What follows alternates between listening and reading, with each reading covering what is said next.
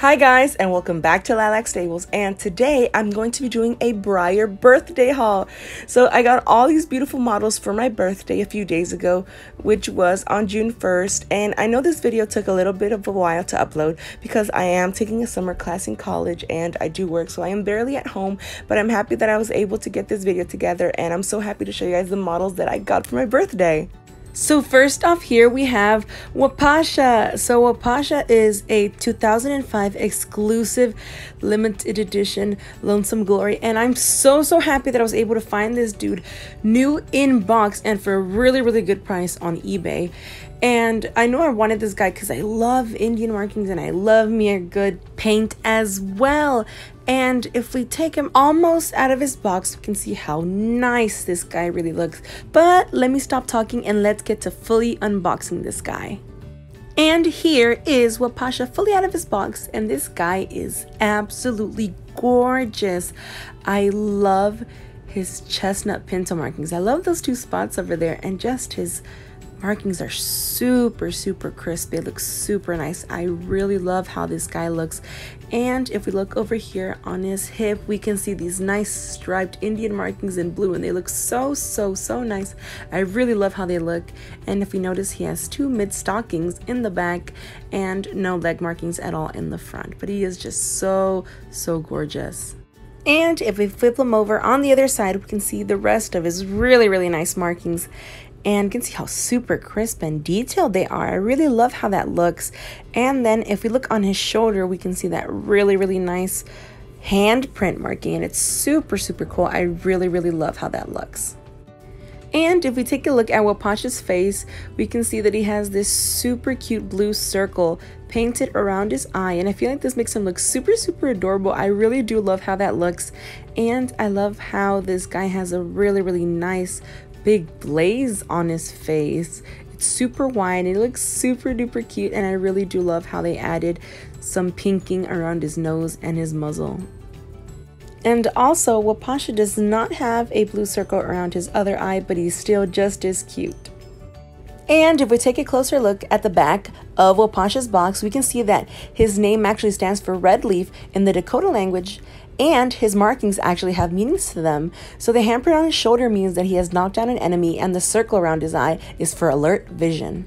And the next model I got was the BreyerFest 2013 Celebration Horse Smart and Shiney. So I've been wanting this guy ever since I started collecting and I finally found him for a super great price and I really really do love this boy. He is so so nice. He has all these really nice dapples on his coat and he has four high socks and they're just super super cute. I really love how they look and i love how in this guy's palomino coat he has this really really nice metallic shine to him and he's just super super nice. I love his coloring i love him so much. And if we turn him over on the other side we can see that he has a really really white blonde mane and tail and it's super super long. This guy is super super nice and he looks really really cool. I love that metallic shine that he has to him and if we take a look at Smart and Shiney's face, we can see how cute his face is.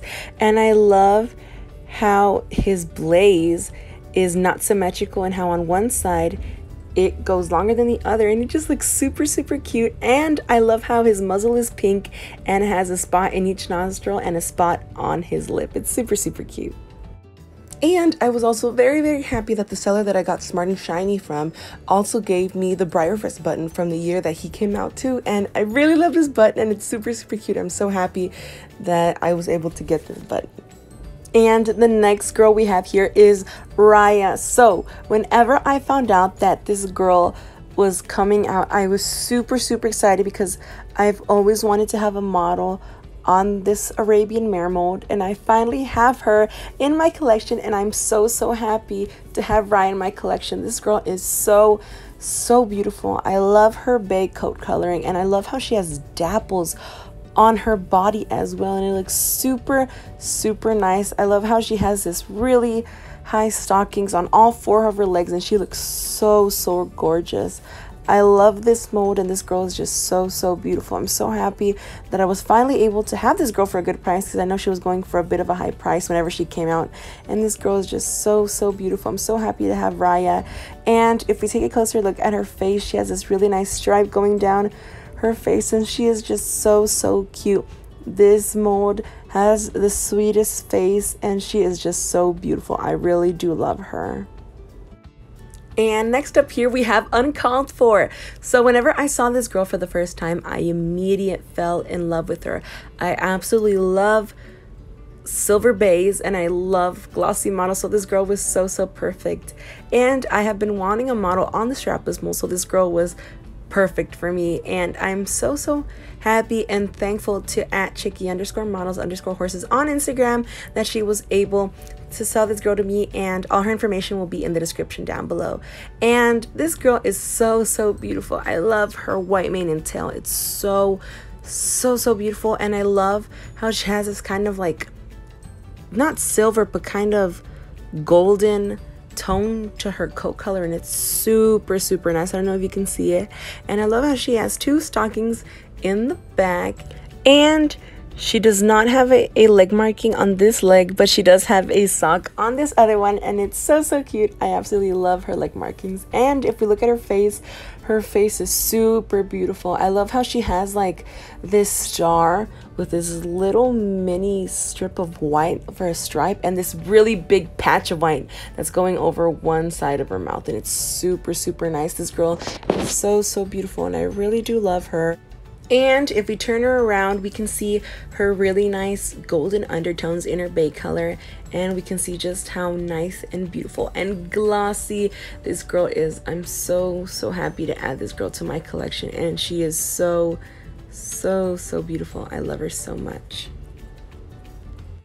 And last but not least, here we have Spordur Fra Bergi. So, whenever this guy came out as a regular run for this year, I was so, so happy because I have been wanting a model on the Atlantic mold, and this guy is so, so nice. I love how he comes in this brand new packaging, and it was just interesting to see Breyer come out with new packaging.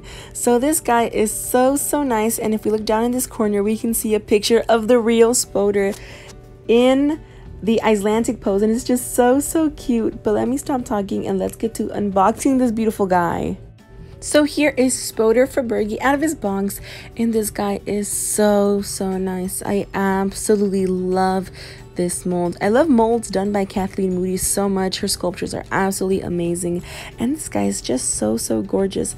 I really do love his chestnut pinto markings. It's so, so cute. I love how he has a big spot right there on his withers, and it's so, so nice. And I love how thick, how super duper thick his mane and tail are. If we look at his mane, it's just so, so thick and beautiful and full of hair. It just gives me very pageant type of vibes. It's so, so cute. And if we also look at his tail, we can see how thick it is. And I just love Moody's work so much because she does really, really good in sculpting horse hair. And I also really, really like that Breyer added striping to Spordur's hooves and he just looks so, so cute. I really love the striping done. It looks super duper nice. And if we turn Spordur on the other side, we can see the rest of his really, really nice markings. And on this other side, the markings are not as big as the other side, and it's still super duper cool. I love the shading and everything done on his mane as well. I love how some parts are his chestnut mane color and some of them are white. And I also really love how his tail is completely dark colored as well. And I love how this guy has like a little bit of feathering on his legs. He's super duper cute. And if we look at Spordur's face, he has the sweetest, sweetest face. And I love how he has this really thick stripe going on his face and it looks super duper nice. And I love how he has this little spot on his muzzle. It's super cute. This guy is just super adorable. And if we take a look at the back of Spordur Fra Bergi's box, we can see a giant picture of Spordur and some information about him as well. And that is it for today's video. Thank you guys so, so much for watching this video and sticking around to the end. If you like this video, don't forget to leave a big thumbs up down below. Comment down below. Do you have any of these models in your collection? What do you think about these models? Don't forget to share this video with your other horse loving friends, but most important of all, do not forget to subscribe to Lilac Stables for more horse videos. Also, don't forget that I am on Instagram at Lilac S Stables. Again, thank you guys so, so much for watching this video, and I'll see you in my next video. Bye, guys!